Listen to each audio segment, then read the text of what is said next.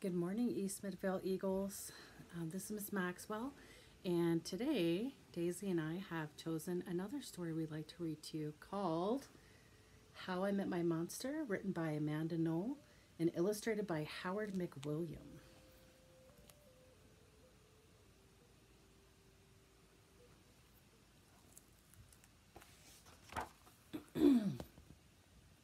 On the night when I reached under the bed for my truck, I found this note instead.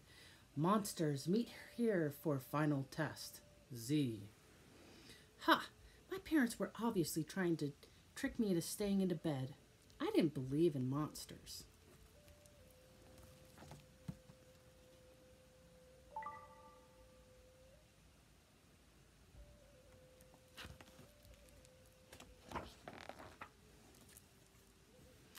So I crumpled the paper, grabbed my truck, and zipped over to my garage. I heard some creaking and rumbling, but I wasn't scared. Our house always made noises at night. But then a voice under the bed scolded, Stop that stomach rumbling! The child will hear you! Voices? Stomach rumbling? If this was part of my parents' trick, it was pretty cool. I peered into the inky blackness. Five pair of eyes blinked back. See, now he knows we're here, the voice sighed. One of you has broken monster rule number one maintain the element of surprise. This is no trick, I thought. There are monsters under my bed.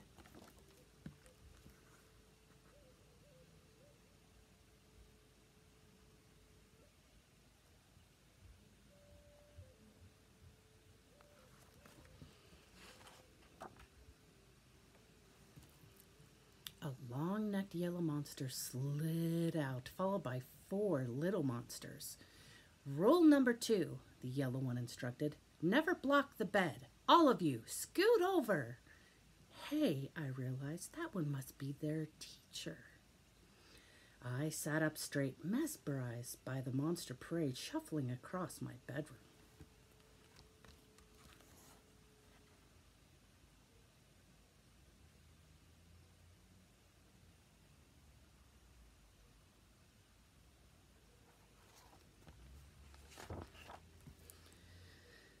That's better, the teacher monster said.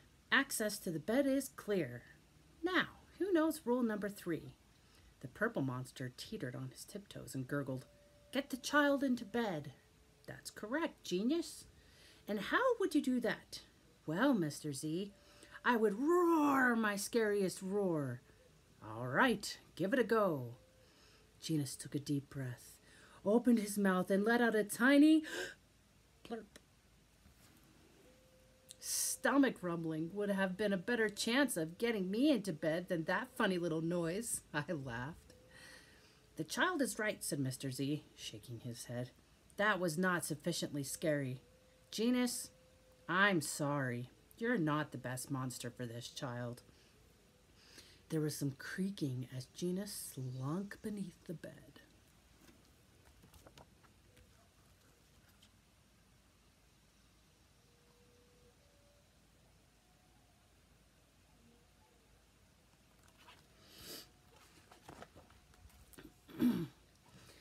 Before I could investigate where Genus had gone, Mr. Z asked, Now, who wants to try to get the child into bed? The orange monster looked at the ceiling, and the red monster looked at the floor. Only the green one looked at me. First, he stared at my toes and started drooling. Then he took a step toward me, and I heard that rumbling noise again. I sprang into bed so he couldn't get my feet. Mr. Z blinked. Very unconventional, Gabe. Your stomach gurgles seem to be what this child needs. What I needed was to make sure this little Gabe monster didn't eat my toes.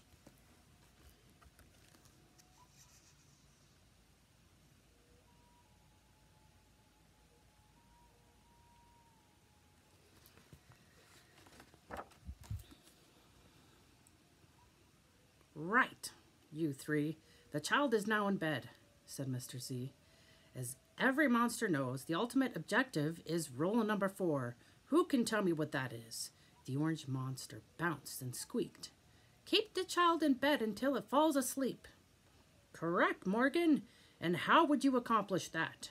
Shadow puppets! Shadow puppets! She squeaked again.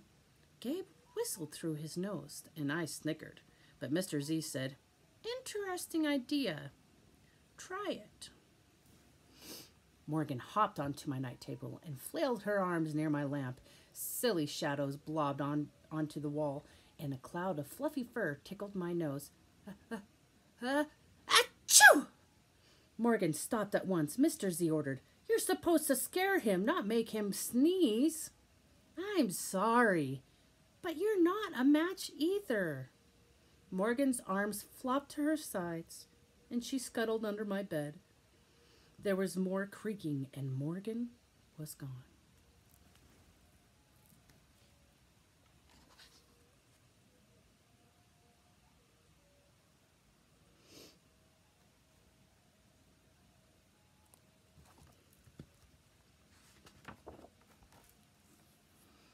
After all that sneezing, I really needed a tissue.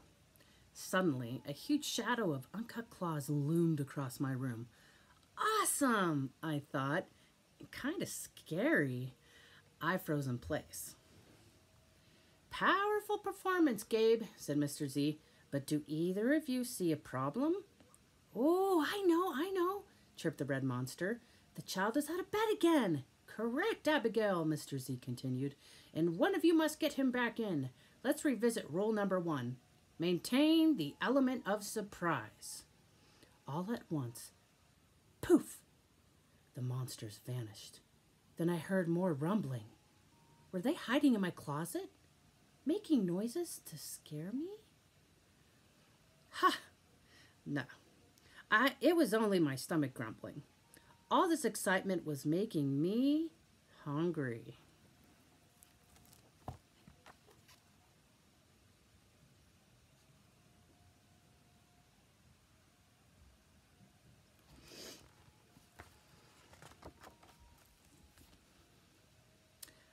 Tiptoed past the closet and peeked out the door.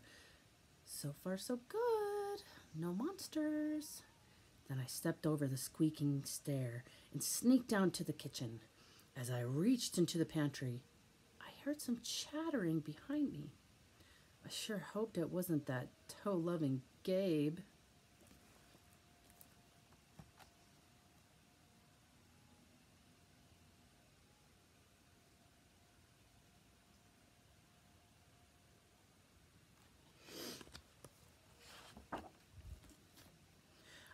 Yanked open the fridge. Ha! It wasn't Gabe. It was just the red monster, shivering on the shelf. Found you! I laughed. Nice try, Abigail, said Mr. Z. But this isn't working. You're not the right monster for this child. But Mr. Z, she whined, it's not my fault he's not scared of me. I'm sorry, Abigail. Let's go.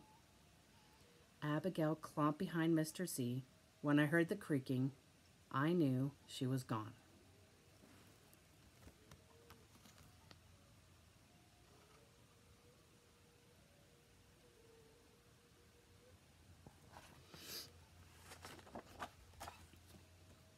I grabbed some crackers and headed upstairs, wondering if Gabe was gone too. I munched all the way down the hall then went into the bathroom to brush my teeth again. When I opened the door a minute later, Gabe was definitely not gone. He was right there, and he was huge.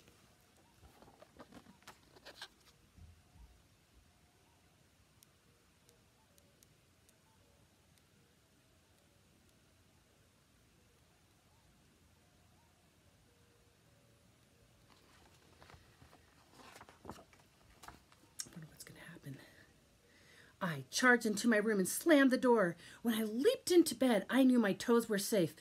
Phew! I was surprised to hear breathing under my bed. Ragged breathing and stomach rumbling. Hey, kid, Gabe growled.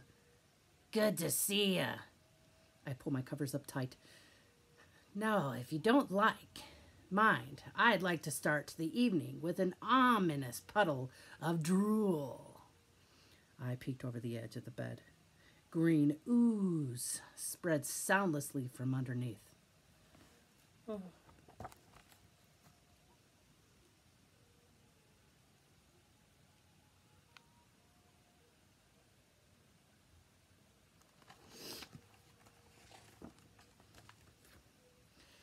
Then the bed quivered as Gabe unfurled his spiked tail. Well, this looks like quite promising, Mr. Z noted. When I heard some creaking, I knew Mr. Z was gone. I was alone with Gabe.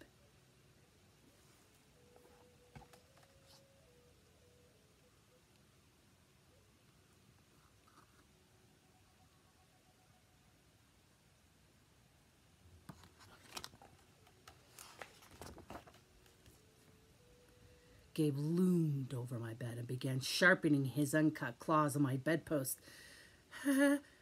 How'd you get so big? I gasped. Rule number five, my friend, he explained. People food makes monsters grow. So, thanks for the crackers. Got any toes I can munch? I scrunched in my feet so Gabe couldn't get them. This was way better than playing with trucks.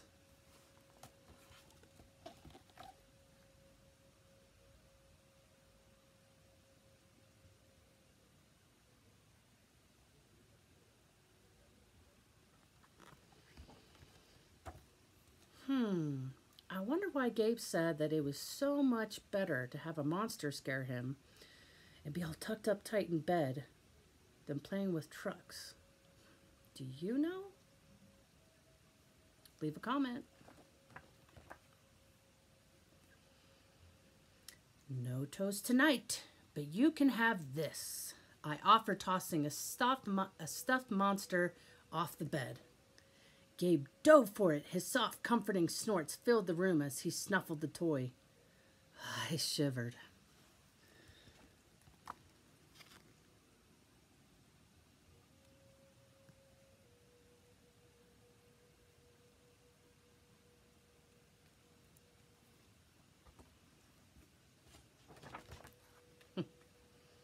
Kid, I think this is the beginning of a beautiful friendship. No other monster can scare me like you. I giggled. Oh, look at how big Gabe is. Oh, he's so big.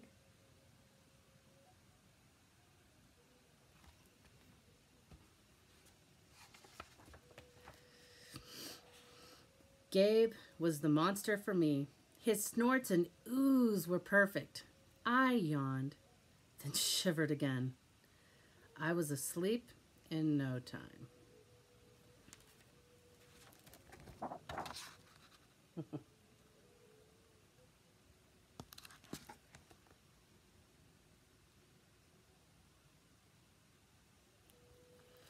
I sure hope you guys enjoyed me reading you the story, How I Met My Monster. I really enjoyed it, and Daisy really liked it too. So, Comment below. What did you think of the book? And in your opinion, which monster do you think would be your monster and why? All right. Talk to you guys later. Looking forward to your comments. Have a wonderful day. Bye-bye.